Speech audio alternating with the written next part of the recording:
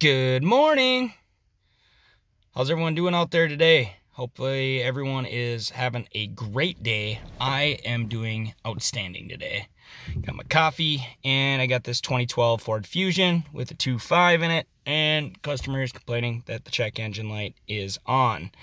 This is like my new bay. I work outside now. I like it.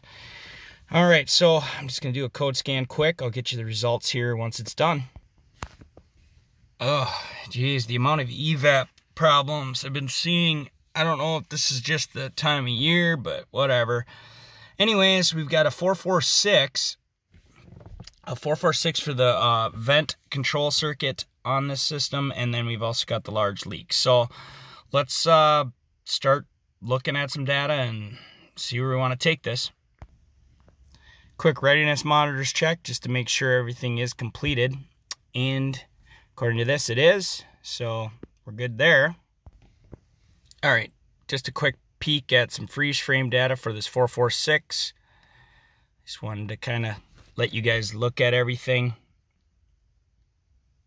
And that way you guys have an idea um, what everything was reading when this code's set.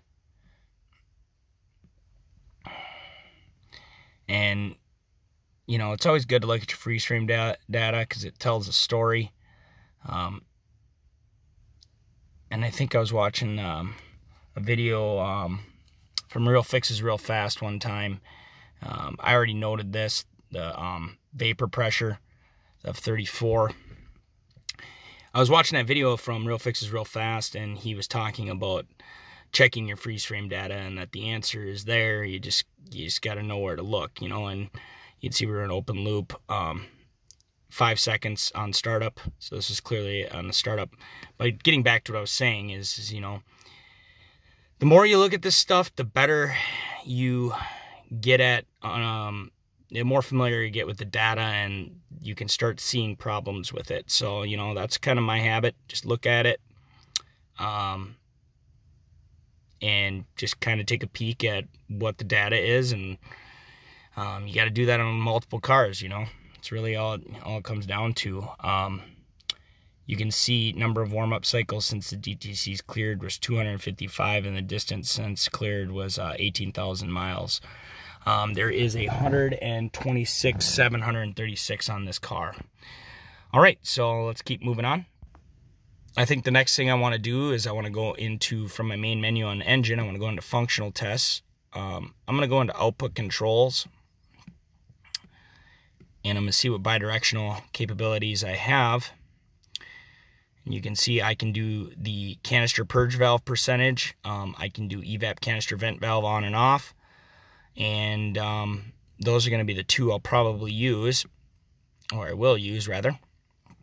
So since we have a 446 for the vent control circuit, we are concerned about the control of that vent valve. So I think what I'll do on this video is we'll kind of change it up. I'm just going to go to a wiring diagram and I want to look at, you know, I want to look at the solenoid and see how it works.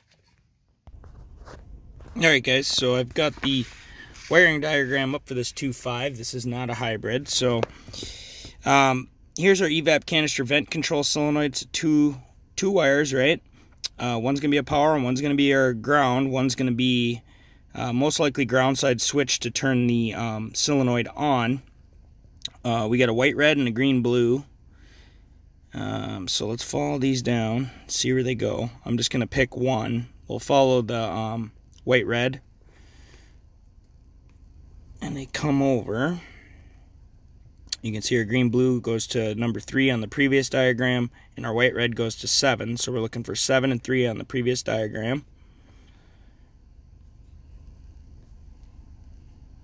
And I'm going as quick as I can here. I know it's hard to do when you're looking through another screen to a screen. So 3 and 7. Here's 7. So let's follow 7. And you can see 7 comes to a splice. So right away I'm already uh, going, this is probably my power feed, but we'll follow it up and see what it goes to. And you can see that our solenoid goes to fuse 23 at 10 amp. um, left side of engine compartment. So we could pull this 10 amp fuse, pop a fuse uh, um, loop in there, fuse buddy loop, and do um, a quick amperage measurement and do the bidirectional to turn it on. And I think we're going to do that actually because um, I really don't feel like crawling under this car. All right, forgive me, guys. I, you know these tablets, they, they they hate my fingers. All right, let me go back here. Hold on. All right, so I'm just gonna make a quick note that that white red. So what we've got is we're looking for fuse number. Oh, what was it? 23, 10 amp.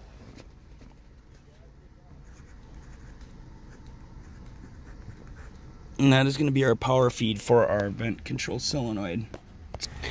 Anyways, guys, you get the concept. So fuse 23 is the one we're after.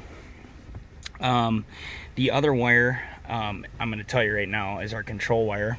Um, and it's got to be a ground. So it's a switched ground to turn the solenoid on. Real straightforward.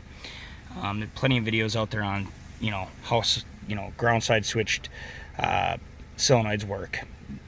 Anyways, if you have questions, drop them down. But one thing I want to show you real quick before we go to the um, fuse, what we're going to do is we're going to drop this fuse buddy that I got from Matco. Um, really nice little tool. Uh, I've li I, I like it. It's kind of my tool review for you. There's who makes it. Electronic Specialties, um, real cheap. I think we paid 45 bucks for it.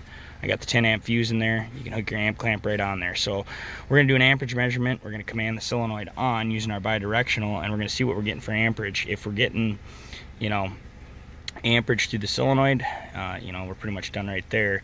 But that tells us that, you know, our controls are there um, and that the circuit is capable of pulling amps. Um, you know, and we can go down, we'll still go down to the solenoid and test there, but let's, let's do that. Um, let me show you the purge valve on this because that is also bad. So let me show you that quick.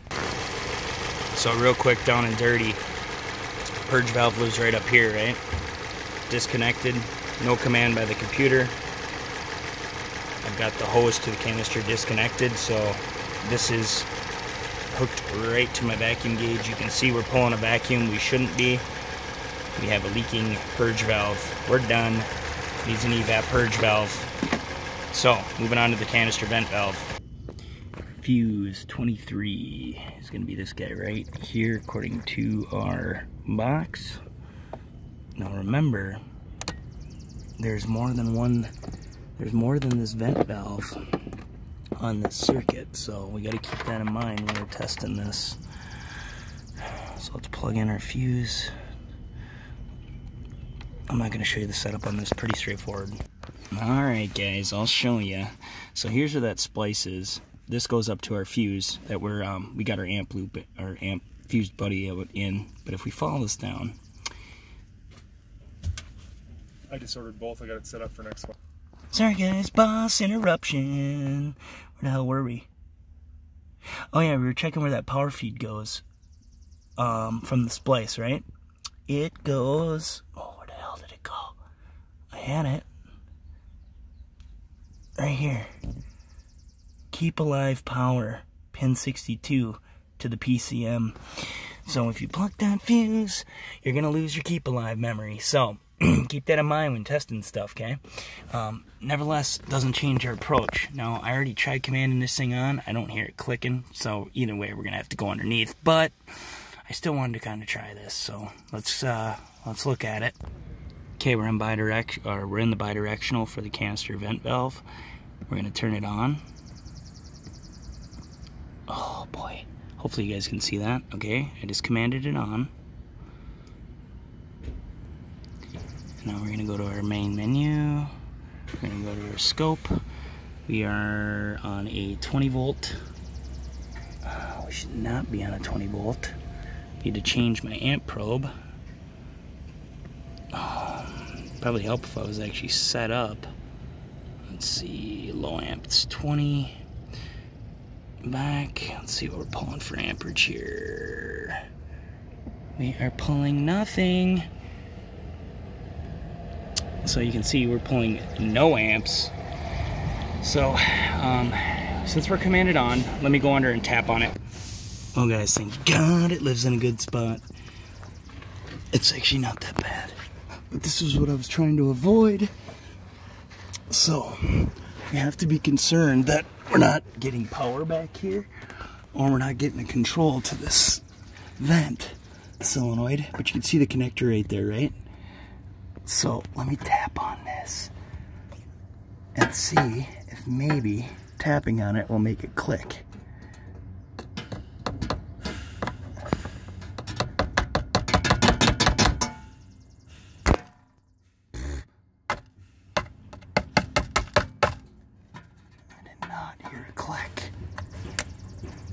Alright, well, that on metal.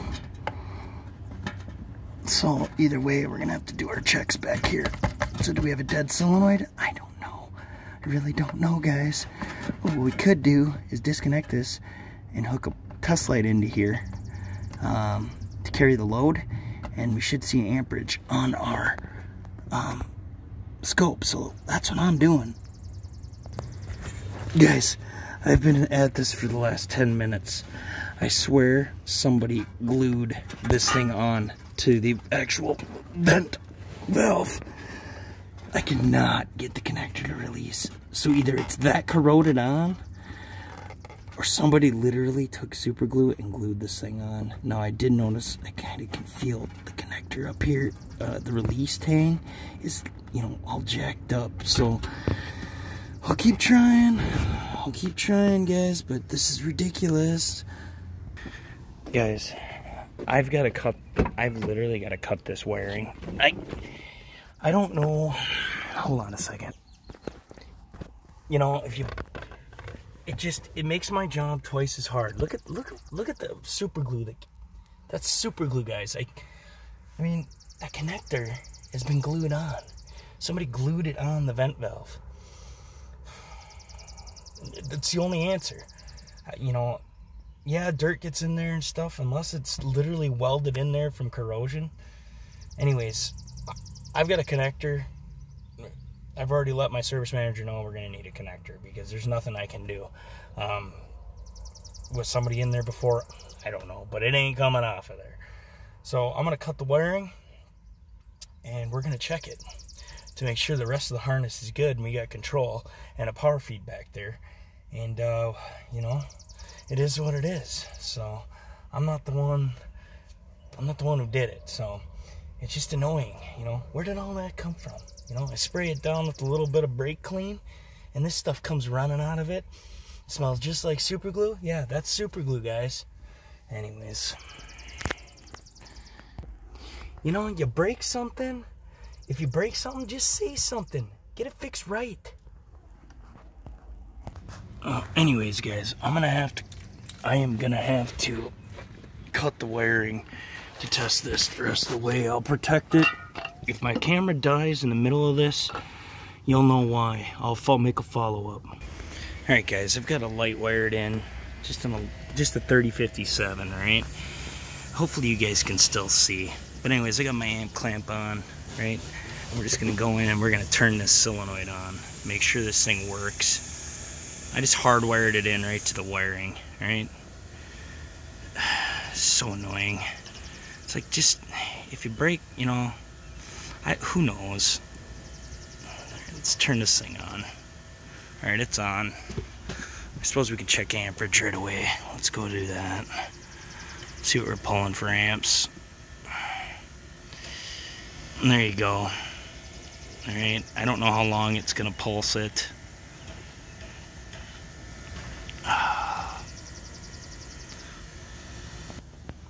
Alright, there you go. We're pulling 1.9 amps right now, okay?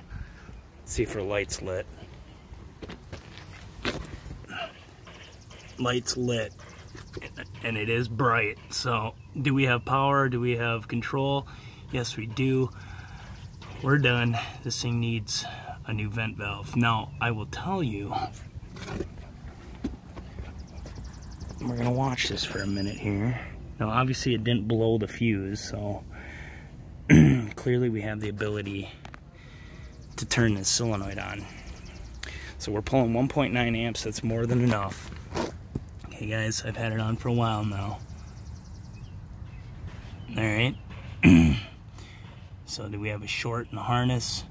It's, you know, certainly it could have been possible, but the fact that that connector is glued, literally glued on the solenoid, I don't know. I don't know what to say.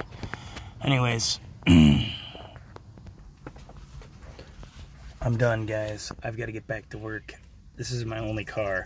Spent way too long in this already, dicking around underneath the car for something stupid. Anyways, hope you liked it. I'll make a follow-up once I have parts. I'm not going to get them today.